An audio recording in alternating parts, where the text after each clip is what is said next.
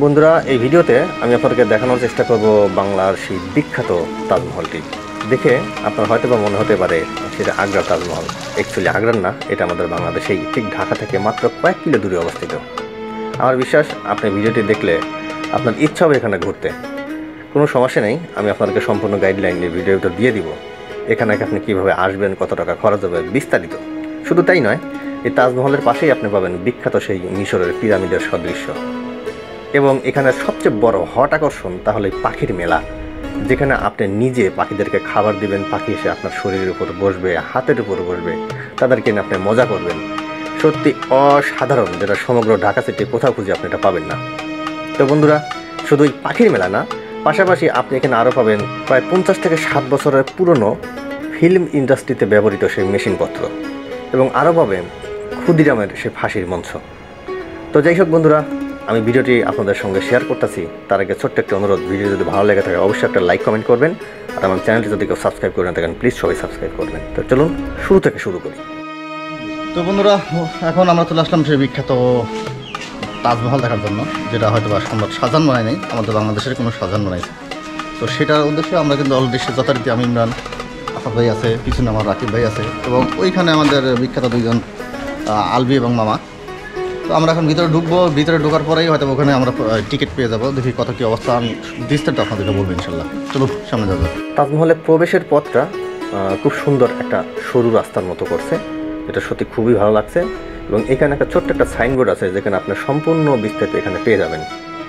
এখানে প্রবেশপথটা খুবই এক্সেপশনাল একটা প্রবেশপথ। ভালোই লাগতেছে খারাপ লাগতেছে না। জানি না টিকিট কাউন্টারটা কোন দিকে। ও, পেয়ে গেছে অলরেডি টিকিট কাউন্টারটা সামনে একটু ঘুরাই ক্যামেরাটা ঘুরাই। একশো পঞ্চাশ টাকায় তাজমহল এবং পিরামিড দুটোই একত্রে। এই সাইনবোর্ডটা নিয়ে আমি আপনাদের সাথে পরে আলোচনা করব। তো যাই হোক, অবশেষে আমরা ভিতরে ঢুকলাম। ঢোকা মাত্র সেই পাখির মেলার ছোট্ট একটা সাইনবোর্ড পেলাম এবং কিছু দূর যাওয়ার পর বিখ্যাত তাজমহলের এটা পেলাম। এবং ডান পাশেই আপনার চোখ জুড়ানো সেই দৃশ্যটি।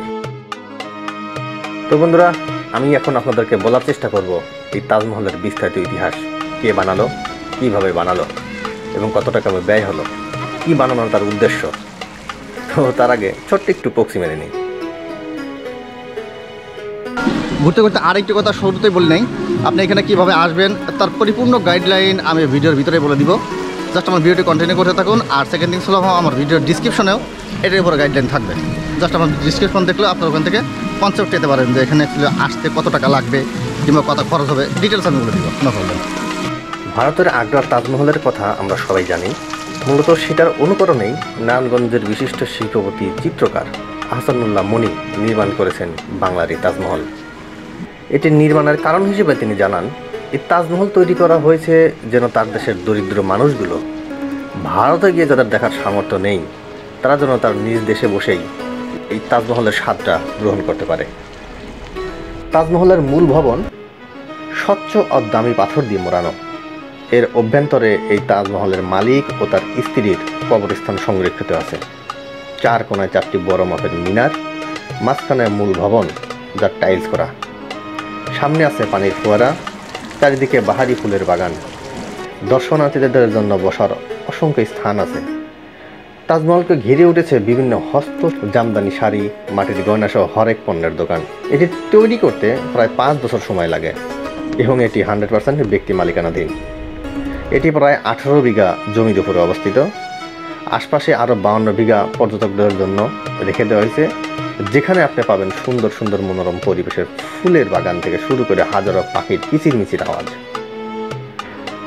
এই তাজমহল নির্মাণ কাজের জন্য ব্যবহার করা হয়েছে দেশি বিদেশি বিভিন্ন উপকরণ। এই তাজমহলে একশো বাহাত্তরটি কৃত্রিম ডায়মন্ড ব্যবহার করা হয়েছে। নির্মাণ কাজে ছয়জন নাম করা টেকনিশিয়ানকে নিয়োগ দেওয়া হয়েছিল। ভারতের তাজমহলকে অনুসরণ করা হয়েছে বলে তাদেরকে, অর্থাৎ এই টেকনিশিয়ানদেরকে, অনেকবার ভারতে যেতে হয়। এই কনসেপ্টে নিয়ে আসার জন্য। তো বন্ধুরা, আপনারা যদি এখানে আপনার প্রিয়জনকে সাথে নিয়ে সময় কাটাতে চান, সেক্ষেত্রে এটা সত্যি খুবই অসাধারণ একটা প্লেস আমি বলব, আপনারা যে কোনো দিন চলে আসতে পারেন। আমার তো আমার ভালো লাগবেই। বন্ধুরা, সেই বিখ্যাত তাজমহলের সামনে আমি এখন বসে আছি। তো তাজমহলকে নিয়ে আসলে আমার বলার কিছু নাই। যতটুকু বলার অলরেডি ভিতরে ভিতরে বলে দিয়েছি। আমার বিশ্বাস, আপনি যদি এখানে আপনার প্রিয় মানুষকে নিয়ে ঘুরতে আসতে চান, সেক্ষেত্রে নির্যাতন নিঃসংখ্যা আসতে পারেন বিকাশ এখানে আপনার মতো পর্যটক অসংখ্য আছে।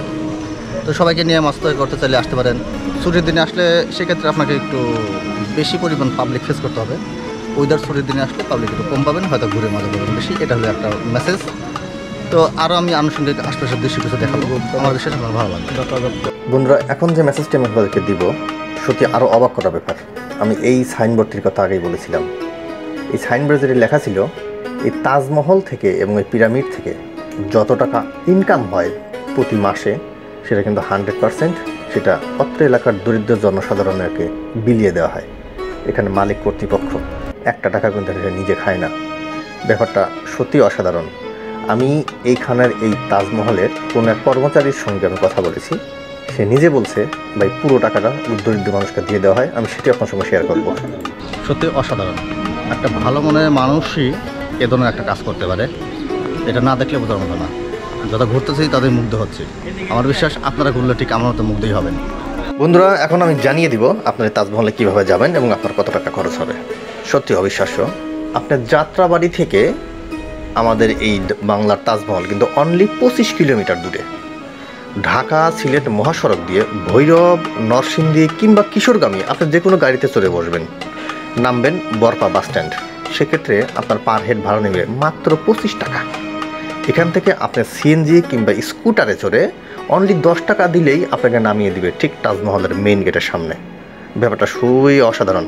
মাত্র পঁয়ত্রিশ টাকায় আপনি ঢাকা থেকে তাজমহল গিয়ে নামতে পারবেন। তো বন্ধুরা, বাকি বিষয়গুলো তো বুঝতেছেন। আসতেও আপনাকে পঁয়ত্রিশ টাকা খরচ হবে এবং আপনার ভিতরে ঢুকতে একশো পঞ্চাশ টাকা টিকিট যেটা দিয়ে আপনার তাজমহল প্লাস আপনি পিরামিড দেখতে পারবেন। তো বন্ধুরা, অনেকটা পথ ঘুরলাম, ফিরলাম। সিরিয়াসলি খুব ভালো লাগছে। সিরিয়াসলি ভালো লাগছে কারণ এই ধরনের স্কেলে মানে এই ধরনের প্লেসে কখনো আমরা সাধারণত সচরাচর আসি না, আমার লাইফের প্রথম।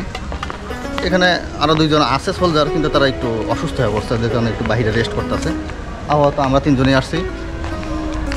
আপনি এখানে, আমার বিশ্বাস, যখনই আপনার দুজনকে সঙ্গে নিয়ে আসেন, এটা খুবই মজা পাবেন, এতে কোনো সন্দেহ নাই। তো বন্ধুরা লাস্টলি অ্যাকচুয়ালি আমি ভিডিওটা আরও বেশি বড় করতে যাচ্ছিলাম না, তাই নেক্সট পর্বে আপনাদেরকে দেখানোর চেষ্টা করব বিখ্যাত সেই পিরামিড এবং পাখির মেলা ক্ষুদিরামের ফাঁসির মঞ্চ, ডিজিটাল সিনেমা হল, সুন্দর প্রকৃতিক দৃশ্য এবং সেই তৎকালীন সময়ের ব্যবহৃত পুরাতন সিনেমার যন্ত্রপাতিগুলো। তো বন্ধুরা, এবার আগাতে থাকি। যেতে যেতেই আজকের তাজমহলটা শেষ হবে। ওকে তবে ভালো থাকবেন।